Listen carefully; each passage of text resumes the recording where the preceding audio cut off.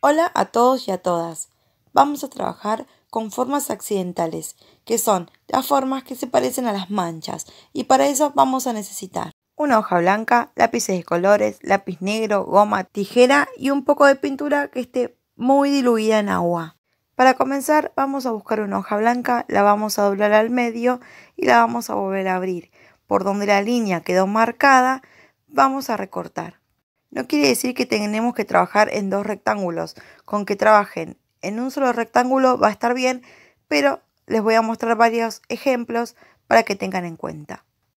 Vamos a tomar una hoja rectangular y vamos a poner un poquito de pintura bastante diluida en agua. Puede ser témpera, puede ser acrílico, acuarelas o cualquier otra pintura que pudieron crear y que sea bastante diluida para que al tomar los extremos de la hoja y moverla se pueda ir corriendo esa mancha.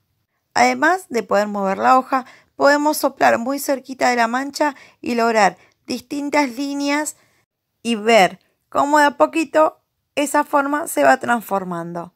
Cuando sabemos que nuestra mancha está lista, eso solamente lo van a decidir ustedes. Tomé otro rectángulo, hice otra mancha para mostrarles la diferencia y también cambié el color. Una vez que terminaron, pueden intervenir esas manchas. En este caso usé lápices para crear un gusanito. En la mancha verde se me ocurrió hacer un jardín o un arbusto lleno de flores. Es importante que antes de dibujar sobre las manchas las dejen secar muy bien. Una vez que terminé con estas manchas, Hice dos manchas más sobre la cabeza de dos personajes para ver en qué se convertía su pelo. En este caso hice como si fuera el otoño, con hojas rojas, amarillas y naranjas. Y después hice otra chica con el pelo verde que se me ocurrió como si fuera otro árbol, pero en este caso le dibujé diferentes pajaritos, como ven en el video que sigue. Es importante que esperen y dejen secar las manchas, si no cuando intenten dibujar encima se va a romper el papel porque toma humedad y hay que dejarlo secar muy bien.